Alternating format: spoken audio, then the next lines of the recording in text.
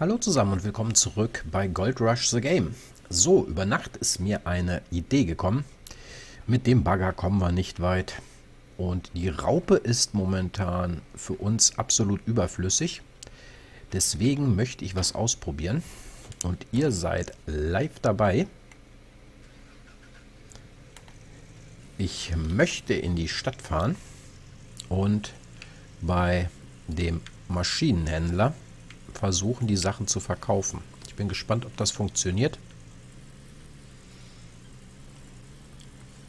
Normalerweise gibt es ja die Option bei dem Händler, dass man die Sachen transferieren muss.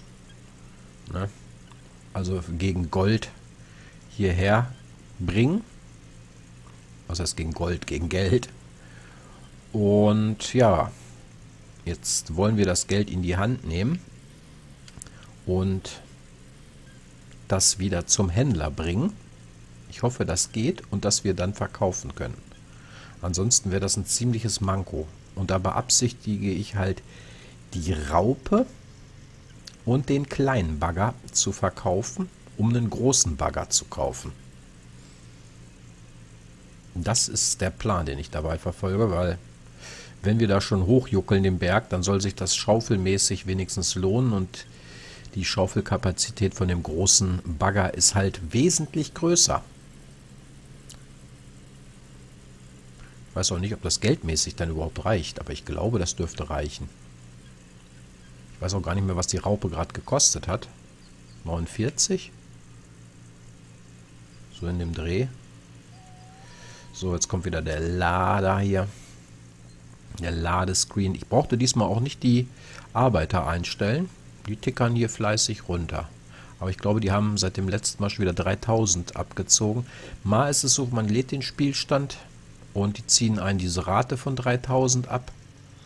Und mal ist das halt nicht. Das ist recht komisch. So, da ploppen immer noch die Sachen auf. Aber es gab ja auch noch kein Patch wieder.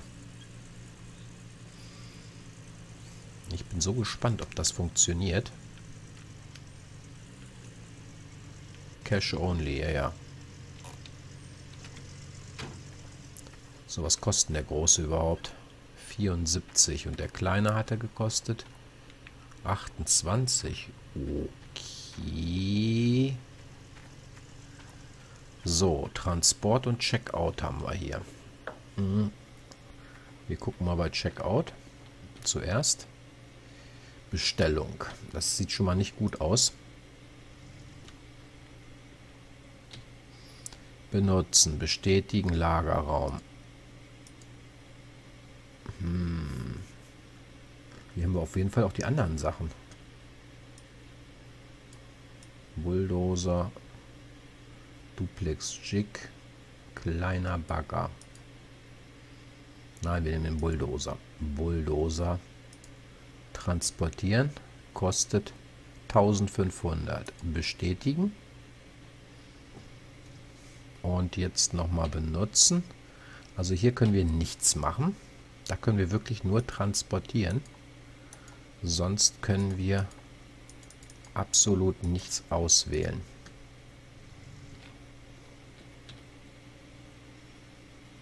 Ja, ist in meinen Augen ein ganz großes Manko. Wenn man Geld braucht. 74.000. So, dann heißt es, wir laden unseren alten Spielstand wieder. Dann hat das keinen Sinn. Und wir hätten sonst das Geld umsonst ausgegeben. Das ist echt mega ärgerlich. Guckt, jetzt haben wir wieder komischerweise 30.000, ne? Das ist echt komisch. Die arbeiten auf jeden Fall. Ich überlege, ob wir noch mehr einstellen. Haben wir noch irgendwo Möglichkeiten, was zu tun? Ausfälle, Transport, Ausrüstungsgeschäft, Coming Soon, alles Coming Soon, Maschinenhandel. Maschinen bestellen, aber ich will verkaufen. So. Das Ding ist gemietet, Parzelle Old Arnold. Die Frage ist nur, wie? Wie viel? Können wir die auch kaufen? Weil wir bezahlen ja jetzt mh, hm, Provision bei Miete 0,2. Ja, was ist damit gemeint? Können wir das kaufen? Okay. Das haben wir jetzt erstmal gemacht.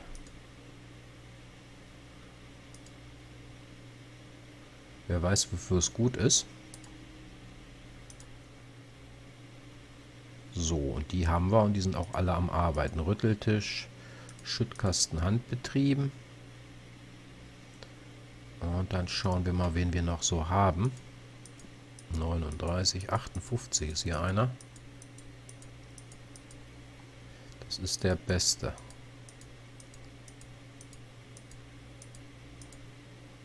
Freddy Wiese. Okay, den stellen wir mal an. Gehen auf Abbrechen. Nein, da wollten wir nicht hin. Ähm so, der hat dann nichts zu tun.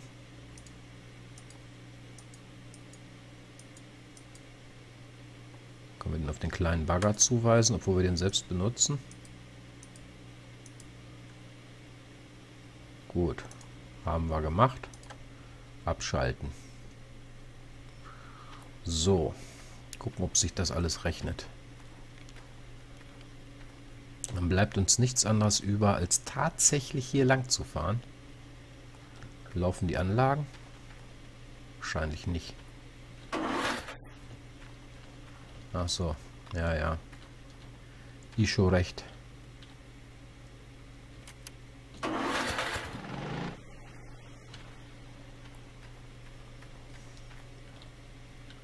So.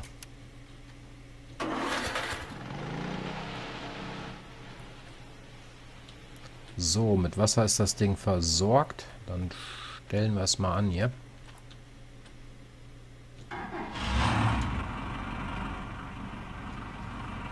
Ganz schöner Lärm hier.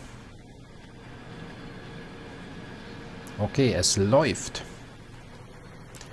Dann wollen wir mal zusehen.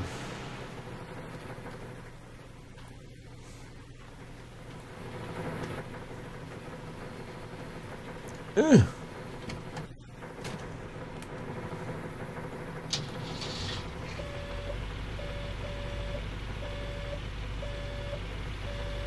Das ist ein echt weiter Weg.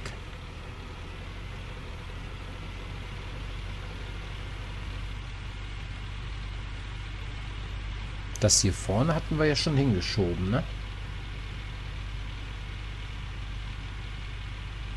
Wenn wir das wenigstens hier hochschieben könnten. Das können wir gleich nochmal ausprobieren. Aber ich glaube nicht, dass das klappt. Das glaube ich nicht, dass das klappt.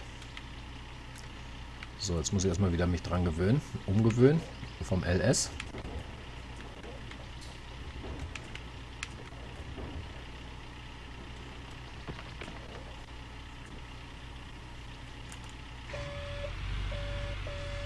Am besten fahren wir rückwärts dahin.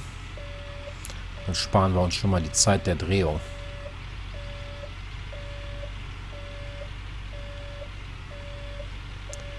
Aber so ist das äußerst mühselig. Wir probieren das gleich mal aus. Machen wir mal den Bulldozer, ob wir hier Erde hochgeschoben kriegen.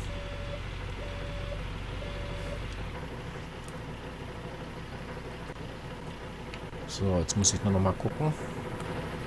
Die Sicht war doch ganz gut, ne?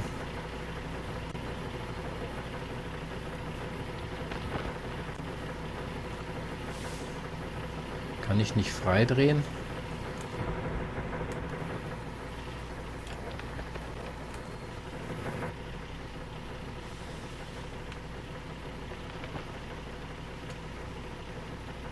das überhaupt was gebracht?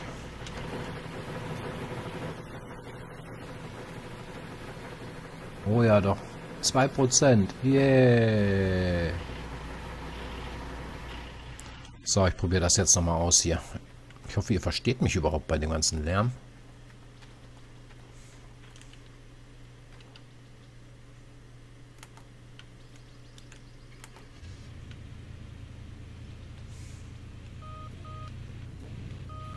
Ähm, ist der Bagger? Dort hinten.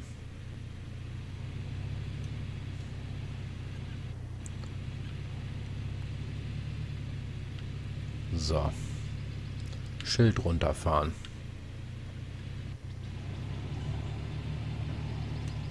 Der walzt das nur platt.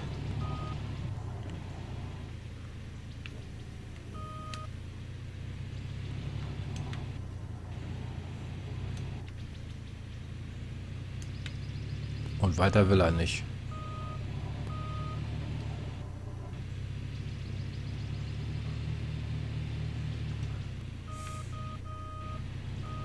Da bräuchten wir den Radlader. Der könnte wenigstens die Sachen da oben hinkippen. Wenn er versteht, was ich meine.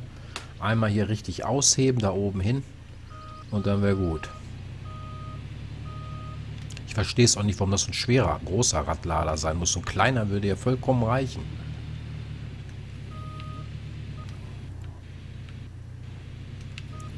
Tja, das bringt nichts. War eine gute Idee, bringt nur nichts. Oh Mann. Ich will nur hoffen, dass sich die Ausbeute dann auch da tatsächlich mal lohnt.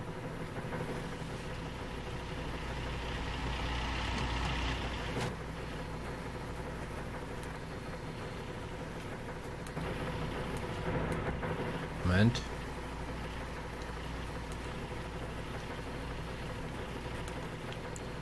Nein, da muss ich hin, genau.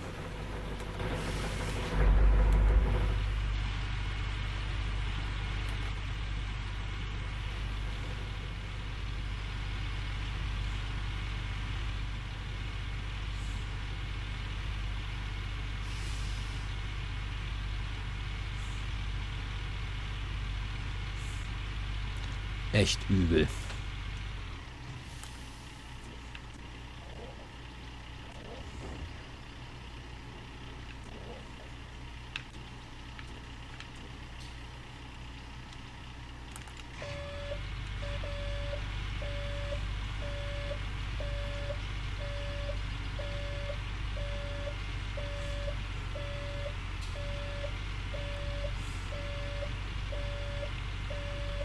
Gar nicht, ob ich euch das so lange zutrauen kann hier.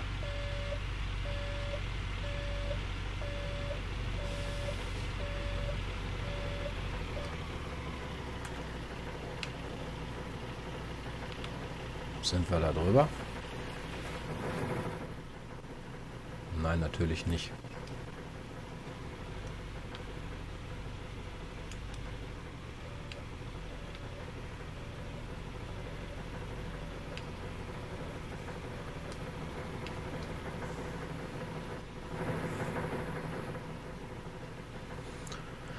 Okay, wir gucken mal, ob wir die... Ne, das ist zu weit weg. Das sehen wir nicht.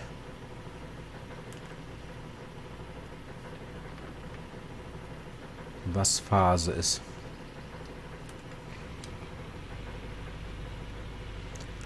Inwieweit sich das lohnt. Oh, gibt aber Geräusche von sich. Jetzt wird es auch schon dunkel.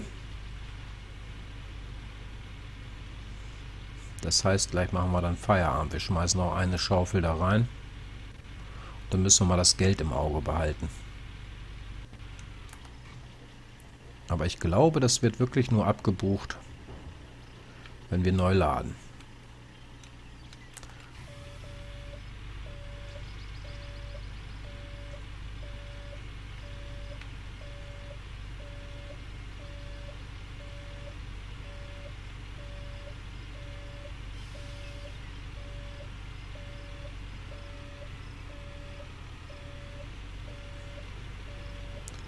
Ansonsten muss ich tatsächlich mal vielleicht ein bisschen offscreen arbeiten. Obwohl es eine richtig stumpfsinnige Aufgabe ist.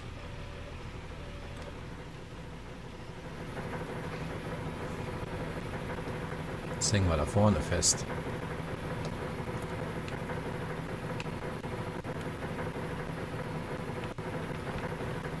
Ups, wir müssen. So.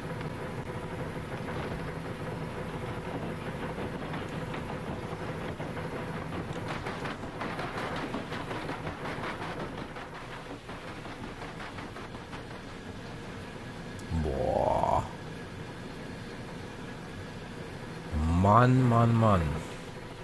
Okay, nichtsdestotrotz. Es wird jetzt zu dunkel. Wir gehen erstmal pennen.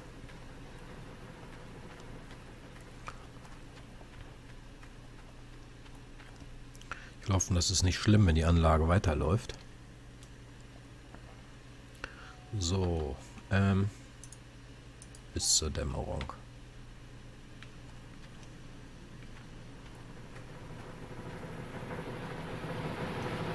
Siebenundsiebzig.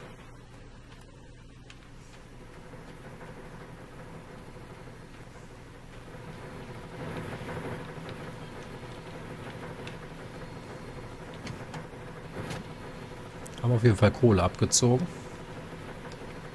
Deswegen ist es eigentlich besser, nachts durchzuarbeiten. Weil dann kriegt man weiter Gold von seinen Angestellten.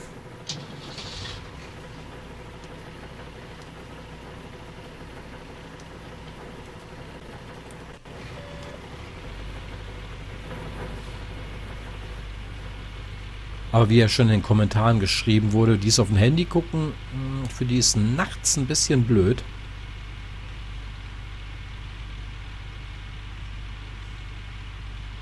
Es sei denn, wir leuchten das vielleicht weiter aus hier.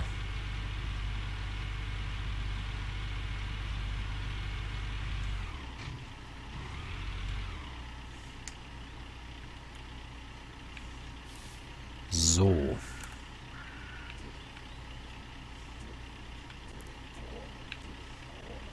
Na, wo bleibst du denn jetzt hängen? Ach, hier vorne. Okay.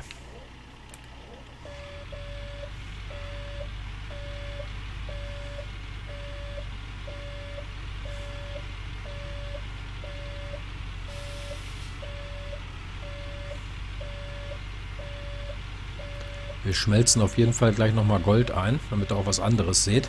Noch heute. Und dann werde ich mal tatsächlich eine Runde offscreen baggern müssen.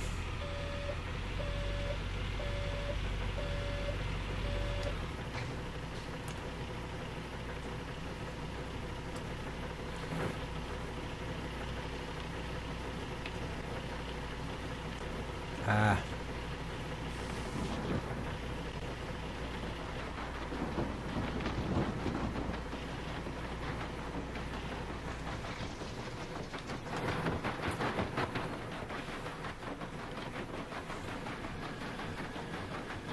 Tja, ab und zu bringt es 1%, ab und zu gar nichts.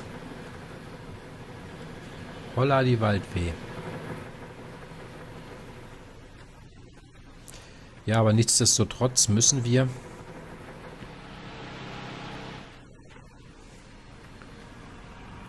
Gold haben.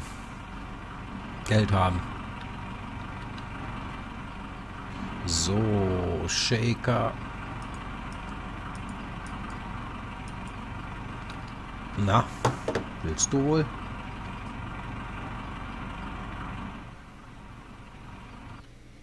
Oh, himmlische Ruhe.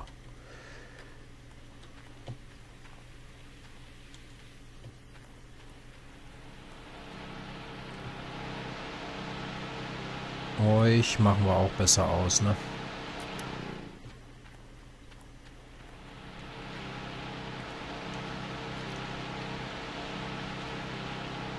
So. Ruhe hier im Puff.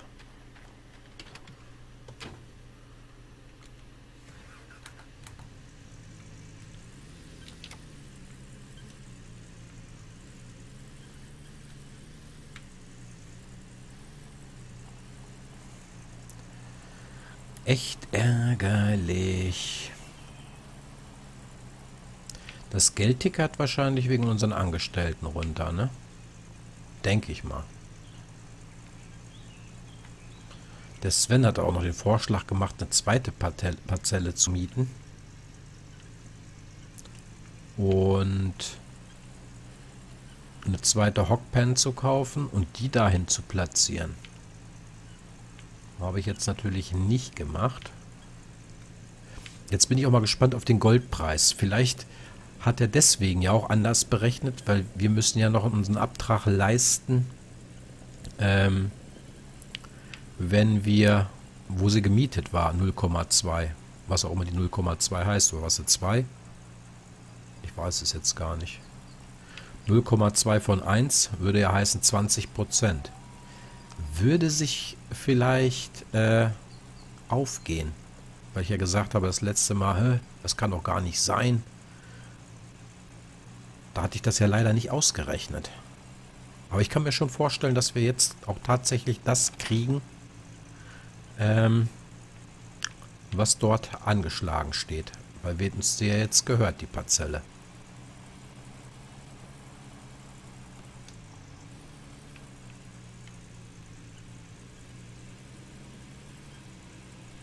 So. Hier müssen wir reinschauen.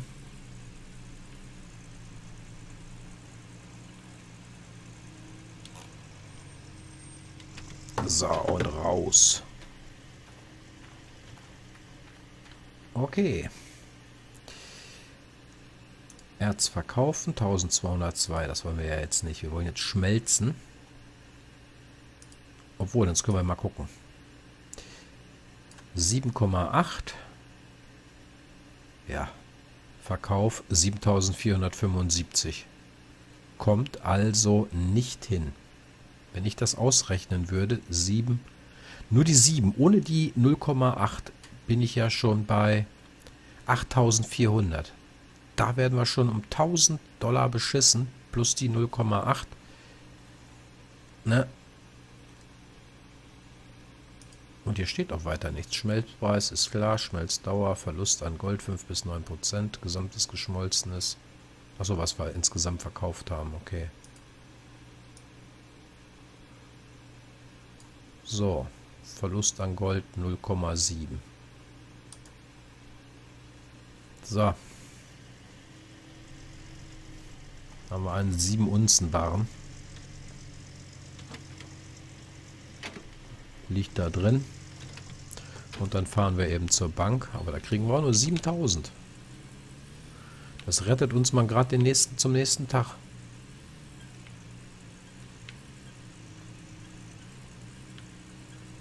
Und wenn ich dann wieder neu lade, ruppt er uns ja wieder die 3000 ab. Oder ich lade mal mehrmals, weil das ist ja nicht jedes Mal. Habt ihr ja vorhin live gesehen. Und ich hatte nichts anderes gemacht. Ne? Handbremse.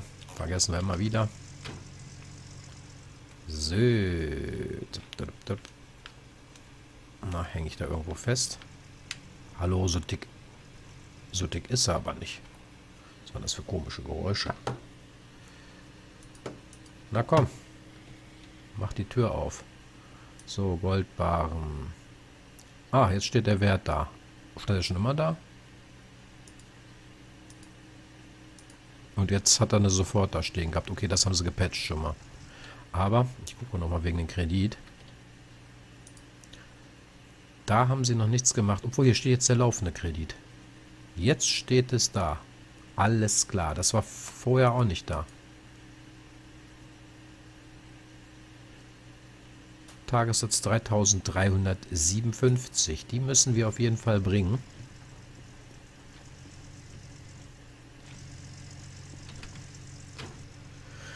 Okay, Leute. Ich fahre jetzt zurück und würde sagen, gebt mal eure Kommentare ab, was wir jetzt am besten machen könnten. Ich will nicht schon wieder cheaten, aber ich finde es unglaublich, dass man als gebrauchte Gerät nicht verkaufen kann. Da könnten wir uns locker den großen Bagger von leisten. Das wäre ein riesiger Gewinn. Okay, Leute. Ich wünsche euch nichtsdestotrotz einen schönen Tag. Macht es gut. Bis zum nächsten Mal. Tschüss und ciao, ciao.